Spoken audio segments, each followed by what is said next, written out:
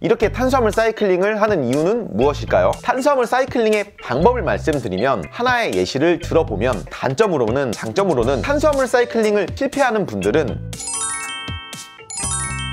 안녕하세요. 충우TV입니다. 최근 충우TV의 회원님들이 바디 프로필 대회 준비를 하면서 적용했던 식단에 대해서 궁금해하는 분들이 많았습니다. 보통은 일정하게 식단을 진행하지만 상황에 따라서 탄수화물 사이클링을 진행했을 때 더 좋은 성과를 내기도 했습니다. 그래서 오늘은 까다롭고 어렵지만 상황에 따라서 좋을 수도 있는 탄수화물 사이클링에 대해서 상세하게 말씀드리겠습니다. 다이어트를 하고 있으신 분들은 이 영상을 참고해서 적절하게 활용하시면 도움이 될 거라 생각합니다. 탄수화물 사이클링을 쉽게 말씀드리면 저탄수화물과 고탄수화물을 반복하는 식단이라고 생각하시면 됩니다. 저탄수화물 식단을 진행하면서 글리코겐을 확실하게 고갈을 시켜주고 고탄수화물 식단을 통해서 글리코겐을 저장하는 것을 반복하는 것인데 이렇게 탄수화물 사이클링을 하는 이유는 무엇일까요? 다이어트를 위해서는 마이너스 영양 상태를 유지해야 합니다. 마이너스 영양 상태를 위해서 장기간 저탄수화물 식단을 진행하면 지방은 지속적으로 빠지게 됩니다. 하지만 지방도 몸에서 하는 역할이 굉장히 많기 때문에 이렇게 지방을 극한으로 지속적으로 계속 빼게 되면 몸은 여러 가지로 문제가 생길 수 있습니다. 몸은 생존이 1순위이기 때문에 이렇게 계속 적게 먹는 것을 지속한다면 몸은 이러한 사태를 비상사태라고 인지를 하고 최대한 에너지원을 아끼려고 하는 몸이 됩니다. 이게 지속되면 대사량도 떨어지고 컨디션도 많이 떨어집니다. 그에 따라서 다이어트 막바지에 적게 먹는데도 다이어트 속도가 점점 느려지게 되는 것입니다. 하지만 탄수화물 사이클링을 통해서 몸을 어느 정도 속일 수도 있습니다. 항상 마이너스 영양 상태만을 유지하는 것이 아니라 고탄수화물 식단을 가져감으로써 에너지원, 글리코겐을 보충하는 날도 있다고 몸에게 말해주는 것입니다. 그렇게 몸에게 에너지원을 아끼려고만 하지 않아도 된다고 속여주는 것입니다. 또 글리코겐을 효율적으로 보충해 줄 수가 있습니다. 글리코겐 같은 경우에는 몸속에 그렇게 많은 양을 저장할 수가 없습니다. 하루 이틀 정도만 탄수화물을 섭취하지 않고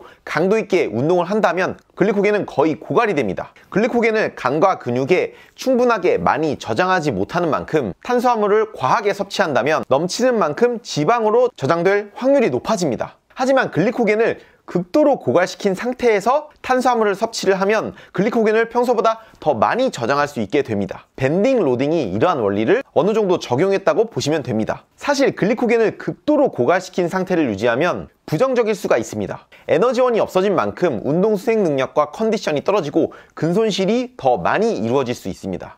하지만 반대로 글리코겐을 많이 고갈시킨 상태에서 고탄수화물 식단을 진행한다면 평소보다 많은 양의 글리코겐을 몸속에 보충할 수 있게 되는 것입니다. 어느 정도 적게 먹고 운동을 해야 글리코겐이 고갈이 되고 어느 정도를 먹어야지 글리코겐이 잘 보충이 되는지는 사람에 따라서 크게 차이가 납니다. 그래서 탄수화물 사이클링이 굉장히 어려운 식단 방법이고 잘못했을 때는 오히려 역효과가 날 수 있는 식단 방법입니다. 탄수화물 사이클링이 어려운 이유는 여러 가지가 있는데 우선 글리코겐을 고갈시키는 작업이 생각보다 어렵다는 것입니다. 글리코겐을 고갈시키기 위해서는 저탄수화물 식단, 적게 먹는 식단을 유지를 하면서 강도 있게 웨이트를 해야 하는데 적은 에너지원으로도 강도 있게 운동을 할 수 있는 운동 수행 능력과 강인한 멘탈이 필요하다는 것입니다. 또 저탄수의 양을 얼마나 가져갈지, 고탄수의 양을 얼마나 가져갈지는 운동 강도, 체중 변화, 몸 변화, 소화 등에 따라서 달라질 수가 있습니다. 즉 본인의 몸에 대해서 잘 알아야 한다는 것입니다. 그래서 이 식단으로 효과를 보시는 분들도 있고 오히려 이 식단으로 더 힘들어 하시는 분들도 있습니다. 보통 탄수화물 사이클링을 실패하는 분들은 고탄수화물을 섭취하는 날에 양을 체계적으로 정해두고 먹지 않고 입이 터지듯이 무분별하게 폭식을 한다는 것입니다. 고탄수화물 식단을 진행하더라도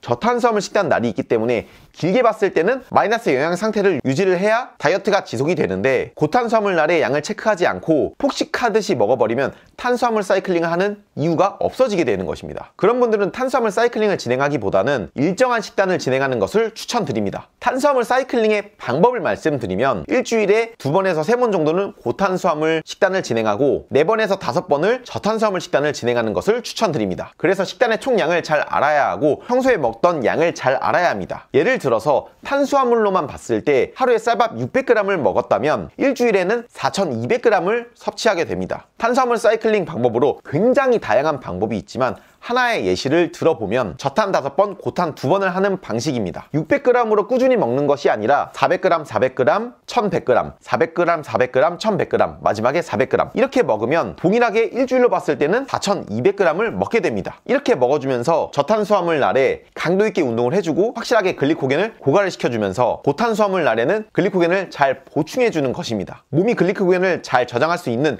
조건을 만든 상태에서 고탄수화물 날에 글리코겐을 잘 보충해 주는 것입니다. 이보다 더 극단적으로 하시는 분도 있고 저탄수화물 날, 고탄수화물 날의 비율이 다른 경우도 있습니다. 방법이 굉장히 여러 가지가 있지만 기본적인 원리를 말씀드리면 길게 봤을 때는 마이너스 영양 상태를 지속을 해야 하고 글리코겐 보갈과 보충을 반복해주면서 지방 연소를 더 효과적으로 해주는 것입니다. 더 쉽게 말씀드리면 뺄 때는 확실하게 빼주고 보충을 잘해주는 그런 식단 방법이라고 생각하시면 됩니다. 이렇게 탄수화물 사이클링을 잘하면 긍정적인 면도 있지만 탄수화물 사이클링의 단점으로는 컨디션 조절이 어렵다는 것입니다. 처음으로 저탄수화물 식단을 진행하면서 강도 있게 운동을 하려고 하면 적게 먹고 많이 움직여야 되기 때문에 운동이 평소보다 힘들 수가 있습니다. 또 갑자기 고탄수화물 식단을 진행하면 혈당이 급격하게 올 라서 컨디션이 오히려 떨어지기도 합니다. 그래서 적응 시간이 필요하다고 생각합니다. 탄수화물 사이클링의 장점으로는 이게 어느 정도 적응이 되면 고탄수화물 날에는 에너지가 보충이 되는 느낌을 받으면서 컨디션도 좋아지고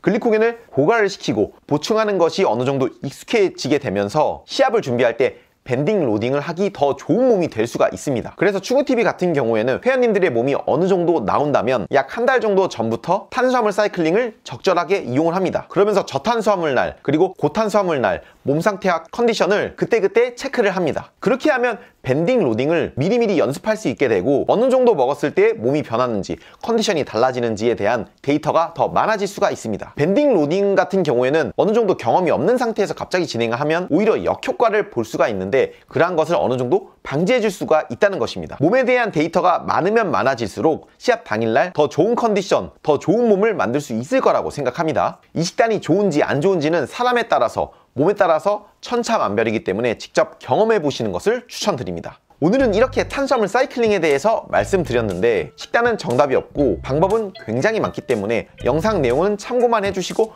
본인에게 맞는 식단 방법을 잘 찾아가는 것을 추천드립니다. 앞으로도 다양한 영상으로 돌아오겠습니다.